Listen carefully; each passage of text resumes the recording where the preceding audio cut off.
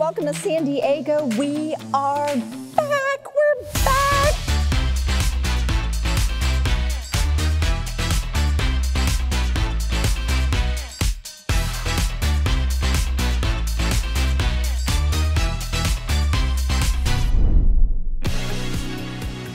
We are so honored to have you here with us, our first in person event for collegians and alumni in nearly four years. That we are going to be there for each other and sort of build our own version of the economy, then we can change the world. Because we absolutely have to remember that there is no them, there's only us, all of us, and we owe it to this world to leave it better than we found it.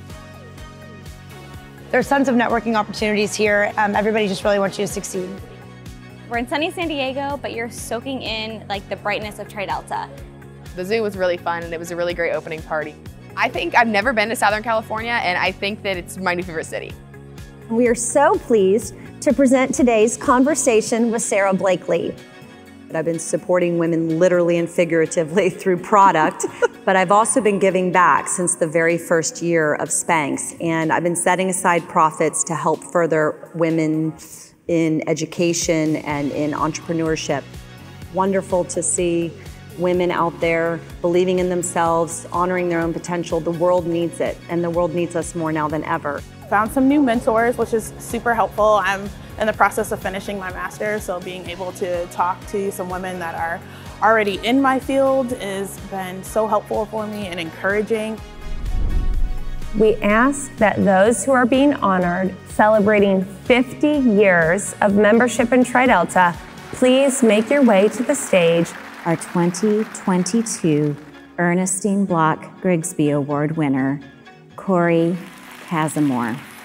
As a partner to the fraternity, Tri Delta Housing is in the business of providing safe, affordable, comfortable, and competitive housing for Tri Delta's members a home away from home.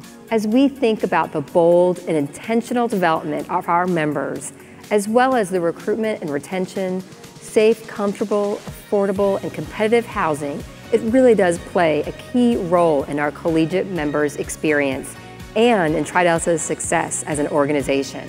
We've been so fortunate to be able to count on the support of TriDelta's Foundation and their generous donors. TriDelta's Foundation has provided a total of $2.76 million in support for TriDelta's members and its programs in the last two years. The glow of these many candles will represent the power of TriDelta, made strong through the united effort of all chapters.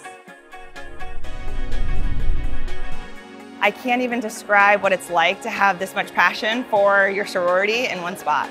Amazing experience. I've been able to talk to so many individuals who were even initiated in 1970. They have so much wisdom to spread and it's just been an amazing experience.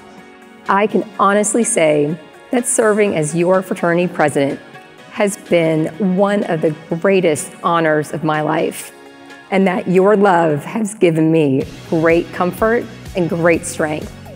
As we mark the ending of this biennium, I will take with me this firm belief that as Trideltas, together, we can accomplish anything we set our hearts and our minds to do. And I cannot wait to see what we will do together in the biennium to come.